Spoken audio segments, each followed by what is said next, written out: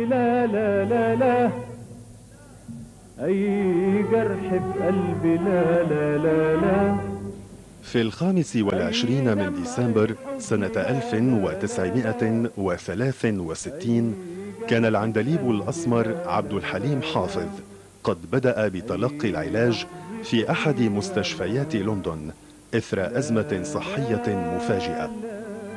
وكان عبد الحليم قد اعتقد أن الأزمات الصحية قد فارقته نهائيا بعد فترة العلاج الطويلة التي قضاها في أمريكا والتي كلفته 26 ألف دولار أمريكي.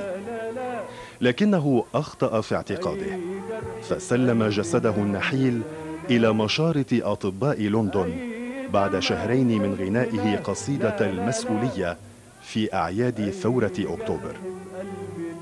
نذكر بأن قصيدة المسؤولية كتبها الشاعر المصري صلاح جاهين ولحنها كمال الطويل وغناها عبد الحليم بحضور الرئيس جمال عبد الناصر.